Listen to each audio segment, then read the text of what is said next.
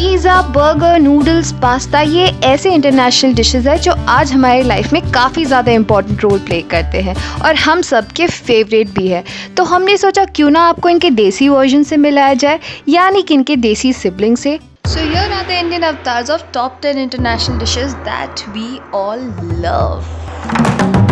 Number one पे है burger versus vada pav. अब बात जब desi version of international food item की हो ही रही है तो आमची मुंबई के वड़ा पाव को लिस्ट में सबसे पहले होना ही था, क्योंकि ये हम सबके लिए वाकई में हमारा देसी बर्गर है। अगर ज़्यादा वेरिएशन में चाहिए तो cheese vada pav, Schezwan vada pav butter vada pav, सब कुछ मिलेगा बॉस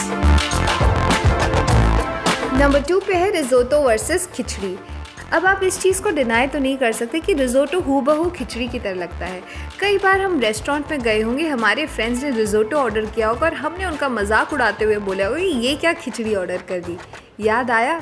याद तो ज़रूर आ ही गया होगा। नंबर थ्री पे है pizza puff versus samosa okay I am not even kidding pizza puff ये खाते वक्त अगर आप देसी समोसे को मिस नहीं करते तो क्या आप वाकई में देसी भी हैं?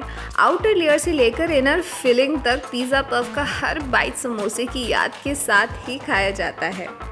नंबर फोर पे है चाइनीज़ नूडल वर्सेस चाउमीन। कितने प्रतिशत हिंदुस्तानी चाइनीज़ खाने को देसी बना के एक्स्ट्रा स्पाइसेस के साथ खाना प्रेफर करेंगे? शत प्रतिशत, यानी कि हंड्रेड परसेंट लोग इसीलिए हमने बड़ी चालाकी से चाइनीज़ फ़ूड का अपना ही एक वर्जन बना लिया है, जिसे हम चाउमीन कहते हैं। जुगाड़ू होना तो कोई हिंदुस्तानियों से सीखे। नंबर फाइव पे है pizza versus paratha. I know I know, आप सब रिडिक्यूल हो रहे हैं कि मैं पिज़्ज़ा को पराठे से कैसे कंपेयर कर रही हूँ। वो इसीलिए क्योंकि जितने टाइप के पिज़्ज़ाज होते हैं ना, उसका पराठा वर्जन आप बना सकते हैं। चीज़ पिज़्ज़ा के लिए चीज़ पराठा वेजिटेबल पिज़्ज़ा के लिए वेजिटेबल पराठा और चिकन पिज़्ज़ा के लिए chicken paratha. I am sorry to interrupt you but they will love it because it's the best of both worlds that's pizza that's paratha what else do you even need और हमारी list पे number six पे है donut versus balushahi. क्या donut donut लगा रखा है? आपने बालूशाही कभी देखा या खाया है? नाम से बंगाली साउंड करने वाला ये डिश वेस्ट बंगाल के साथ साथ इंडिया के यूपी बिहार में काफ़ी मशहूर है। अरे आप जाइए और खाइए तो सही, फिर हमें बताइएगा। And on number seven we have mash potato versus chokha.